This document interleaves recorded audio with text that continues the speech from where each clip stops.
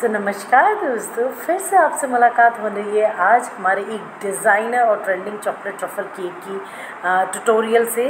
सो so, आज मैं बनाने वाली हूँ one K G chocolate truffle cake. Truffle cake खाने में जितना टेस्टी डिलीशियस और टेम्पटिंग होता है उतना ही बनाने में उसको डेकोरेट करने में और ज़्यादा वो डिफ़िकल्ट होता है। लेकिन इस मुश्किल को आसान करने का ज़िम्मा हमारा है। तो देखते हैं पूरा वीडियो। चॉकलेट गनाश बनाया है मैंने यहाँ पर, चॉकलेट गनाश को बनाने के लिए। आपको टू इज़ टू वन का रेशियो लेना है। आपको हाफ़ क्वांटिटी की फ्रेश क्रीम लेनी है। मैं अमूल यूज़ करती हूँ, आप कोई भी ले सकते हैं। और डबल क्वांटिटी की आपको चॉकलेट लेनी है। आप कोई भी चॉकलेट ले सकते हैं मिल्क डार्क या फिर वाइट चॉकलेट अब यहाँ पर आइसिंग करने की बात आई है मेरा स्पॉन्ज ऑलरेडी रेडी था, जिसमें मैंने साढ़े तीन सौ ग्राम प्रीमिक्स के साथ मैंने सेवन इंचज़ इंच की टिन में मैंने स्पॉन्ज बेक कर दिया था और सेंटर की आइसिंग आपने वीडियो में देख ही ली है। यहाँ पे एक बहुत बड़ी बात मैं बताने वाली हूँ, जो काफ़ी बिगनर को नहीं पता होगी। आप चॉकलेट ट्रफल केक को डेकोरेट करने का आसान तरीका होता है कि आप सेंटर फिलिंग करने के बाद उसको अच्छे से आधा घंटा, कम से कम आधा घंटा अच्छे से चिल्ड कर इसके बाद आप इसकी आउटर लेयर की आइसिंग करें। इससे क्या होता है चॉकलेट केक जब ठंडा होता है तो बहुत ही आसानी से गनाश उसके साथ चिपक जाता है और बहुत आसानी से उसकी आइसिंग हो जाती है। इसके साथ एक, आप एक गर्म ग्लास का पानी रखें और उसमें आप अपना पैलेट नाइफ डिप करते रहें और यूज़ करते रहें। यहाँ पे मेरी आइसिंग कंप्लीट हो गई। अब मुझे इधर लगानी है नेचुरल ड्रिप चॉकलेट गनाश की। अब मैंने वही गनाश लिया, मैंने कोई न्यूट्रल जेल नहीं लिया है, कोई रेडीमेड जेल नहीं लिया है, मैंने यहाँ पे वही गनाश लिया है।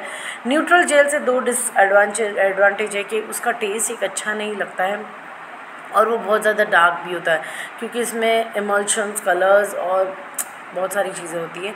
बट आपको नेचुरल चाहिए टेस्टी चाहिए तो इसी गनाश को हल्का सा आप गर्म कर दीजिए या फिर एक चम्मच गर्म दूध डाल दीजिए तो इस तरीके से वो रनिंग कंसिस्टेंसी में आ जाएगा। आपका केक ऑलरेडी ठंडा है तो आपका ड्रिप बहुत अच्छा सेट हो जाता है उसके ऊपर। आप अपनी इच्छा से आप जितना ड्रिप करना चाहें, आप कर सकते हैं।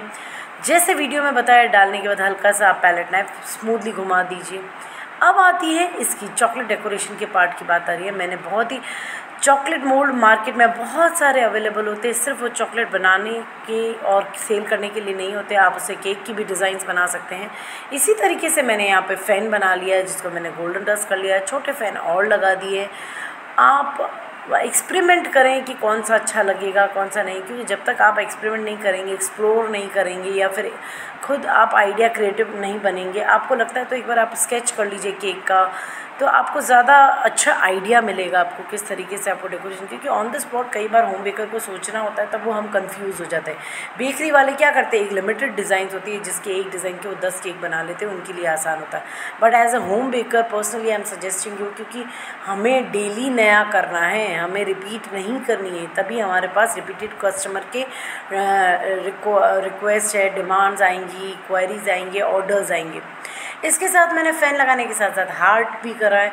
मैं अपनी वीडियोस में बहुत सारी बातें भी करती हूँ, टिप्स बताती हूँ, ज़रूर नहीं, हर बार है ना, वही रिपीटेड रेसिपी बताऊँ।